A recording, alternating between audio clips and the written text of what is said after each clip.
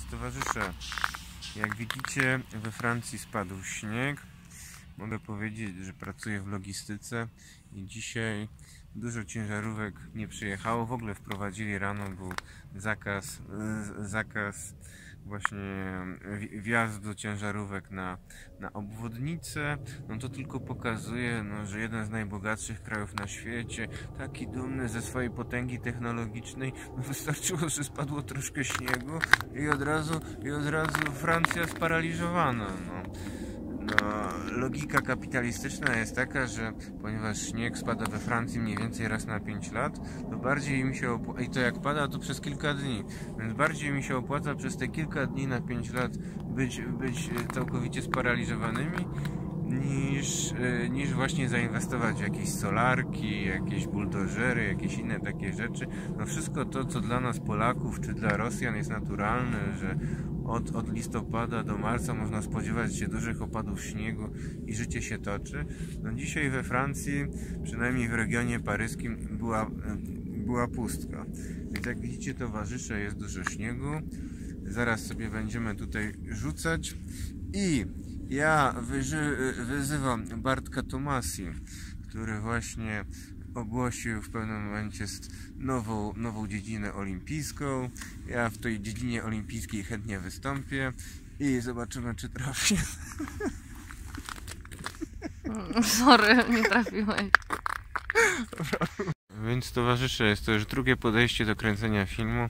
Pierwsze, e, pierwsze ujęcie niestety zniszczyła żona celowo. Był to świadomy kontrrewolucyjny sabotaż. Jesteśmy kilkaset metrów od naszego domu. No i możecie tutaj zobaczyć, jaka Francja jest nudna, że wszystko musi być takie pod linijką, jak wszystkie drzewka i, i słoneczko, nie rób wiochy, no. W każdym razie Francuzi pierwszy raz chyba zobaczyli zimę, śnieg, więc są przerażeni, chowają się po domu. W Warszawie to zawsze jakieś dzieci biegają z sankami, z nartami, więc moja żona ukochana powiedziała, że jest tak pusto jak w serialu Walking Dead i zaraz wyskoczy jakiś zombiak. Towarzysze, widać tutaj jakąś nieudaną próbę stworzenia bałwana. Dzisiaj byłem 9 godzin w robocie. O, Więc stój, nie stój, będę- stój, nie, nie wchodź na to. Nie będę się popisywał, więc jestem troszkę zmęczony i mi się nie chce. Ale widać, że Francuzi nawet nie potrafią zrobić bałwana. Więc towarzysze, nasz hymn, międzynarodówka.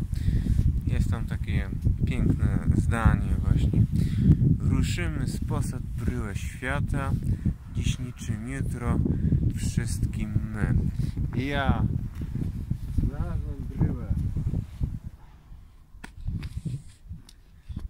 Więc zawsze tutaj jestem Oskar. e, Jacyś antykomuniści mówią, a na drzewach zamiast liści. Więc miesiącem antykomunistów, tą porą roku ulu- ulubioną jest jesień. A moją ulubioną porą roku jest zima. Zima kojarzy się z Syberią. Boże, jaki suchar. No w każdym razie dla wszystkich antykomunistów i obrońców kapitalistycznego porządku to z wami zrobię. Ja naprawdę wyłącz, wyłącz. Stulecia. Więc towarzysze, jednak, jednak postanowiłem tylko popracować mimo zmęczenia. Patrzcie jakiego pięknego bałwana ulepiłem. Więc niech żyje komunizm. Więc towarzysze, nie wiem czy będzie coś widać, ale jeśli zakładam, że będzie, jest już stół który może, który jest gotowy na obrady małego kongresu polskich komunistów. Trzeba jeszcze tylko zrobić młot sierp.